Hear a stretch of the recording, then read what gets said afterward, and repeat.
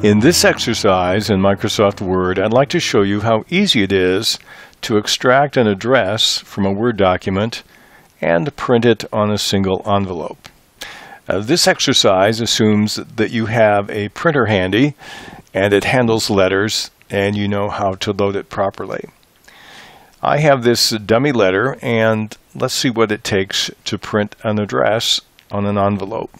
I'm going to click on the Mailings tab at the top and then I'll simply choose Envelopes on the ribbon.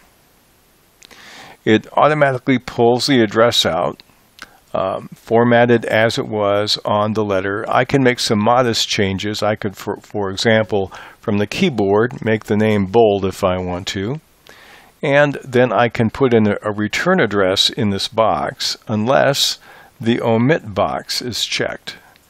If that's not checked, I can type in anything I want any place, 33 Main Street, any town, uh, Illinois, um, and the zip code.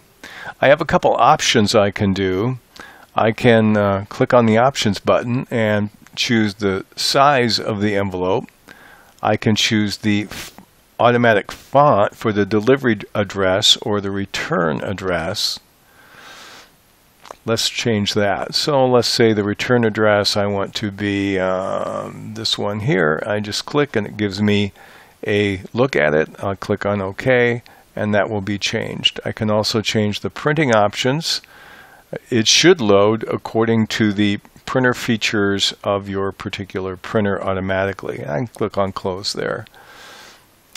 And then all I have to do is click on the print button and it asks if I want this to be the default address. I'll say no, and we're done.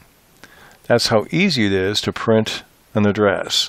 Now there may be occasions where it doesn't select the address you want, uh, or you may have more than one address in a document.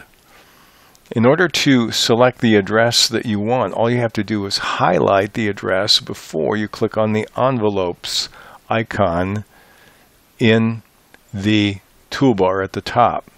Now, for example, in this document, I have a couple more addresses.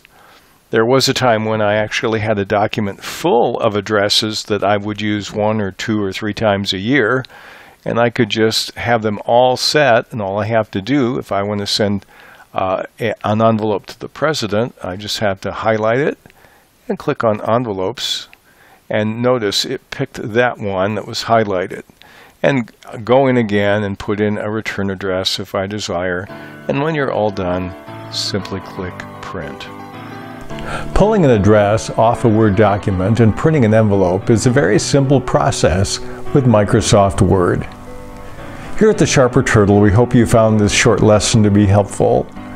And if you have, we'd like to ask you to like us, make comments, especially for lessons you'd like to see us produce, and subscribe to our channel at YouTube so that you can receive the latest lessons that we make available.